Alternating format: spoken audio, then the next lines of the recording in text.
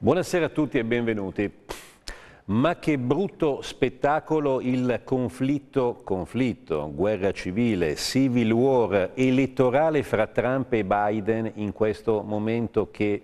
così imperversa ancora negli Stati Uniti. Eh, che brutto spettacolo, ma ne avevo parlato in una mia precedente puntata dove eh, annunciavo profeticamente, fortunatamente, sfortunatamente per chi così al tempo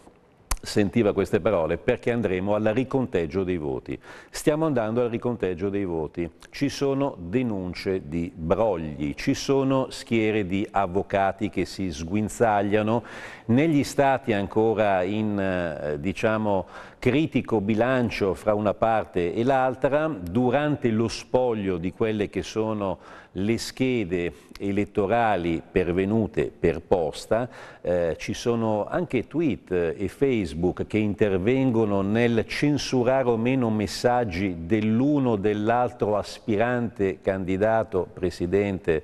degli Stati Uniti, eh, ci sono dichiarazioni di vittoria eh, anche eh, premature in un certo senso, che poi magari si vanno a consolidare. E qui mi viene un po' in mente il giochetto nell'anno 2000 Gore-Bush dove già iniziavano le dichiarazioni di vittoria, dove già Fox News che ancora una volta ci mette lo zampino schierandosi un po' da una parte o dall'altra, dava per certo addirittura una votazione in uno Stato, nell'Ohio, nel Wisconsin, nella Pennsylvania, Pennsylvania, eh, prima ancora che lo spoglio effettivo dei voti fosse stato effettuato e tutta una serie di dichiarazioni adesso paciose da parte di Sleeping Joe Biden eh, sul sarò il presidente di tutti, eh, aiuterò tutti quelli che comunque hanno votato o non votato per me, furibondo il tycoon presidente attuale Donald Trump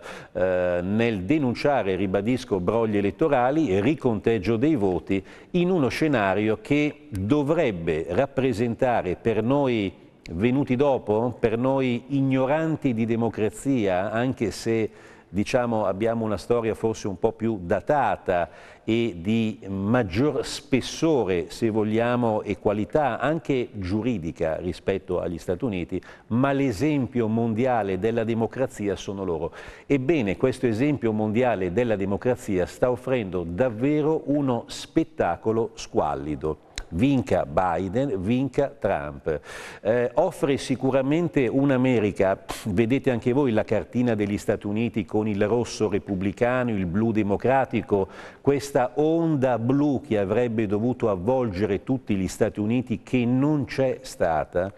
Questo scarto di voti fra l'uno e l'altro prima di essere proclamato presidente e una intera nazione colorata in rosso e in blu che sta a significare una divisione totale anche di consensi e anche di volontà. A questo si aggiunge, dicevo, il voto elettorale che Mm, non mi convince. Ecco, adesso non è per non essere democratico o essere repubblicano. Sono d'accordo personalmente sul riconteggio di voti per posta, perché quando si invia qualcosa per posta non sappiamo mai al 100% quale possa essere la destinazione, perché quando si parla magari di discariche, di voti buttati, o si parla comunque di possibilità di broglio, il broglio magari può non esserci, ma il dubbio può sicuramente venire, quindi il riconteggio dei voti sarà e lo hanno annunciato entrambi, e nessuno dei presidenti americani può opporsi al riconteggio dei voti, questo è dimostrato, però inevitabilmente sarà fonte di perdita di tempo, di ulteriore tensione e eh, sentore di, come dire, non voglio dire disordini, ma le tensioni, l'attesa l'essere snervati crea poi anche disordini in una città, in uno Stato, in stati e in una grande nazione dove comunque le persone girano ancora armate, fucili a pompa, pistole, mitra, mitragliette e quanto altro. Eh, davvero un brutto spettacolo, vedremo poi cosa farà la Corte Suprema, lo abbiamo anche già spiegato, sei giudici su tre sono repubblicani e da qui si potrà dire ecco però la Corte Suprema magari darà ragione a Trump o meno, lo vedremo. Unica immagine simpatica, ecco, è una sciocchezza, ma ve la lancio perché l'ho vista in fotografia, la foto di Trump e della moglie che stanno votando sul desk elettorale, la moglie alla sinistra del presidente vota, sta scegliendo, il presidente anche lui in realtà sta votando, ma butta la faccia quasi e sta guardando, sta sbirciando se la moglie in quel momento così eh, fosse intenta a scegliere, a dare il voto al marito o magari anche al Partito Democratico. Unico fatto risibile. Per il resto aspettiamo gli eventi e il risultato finale. Grazie.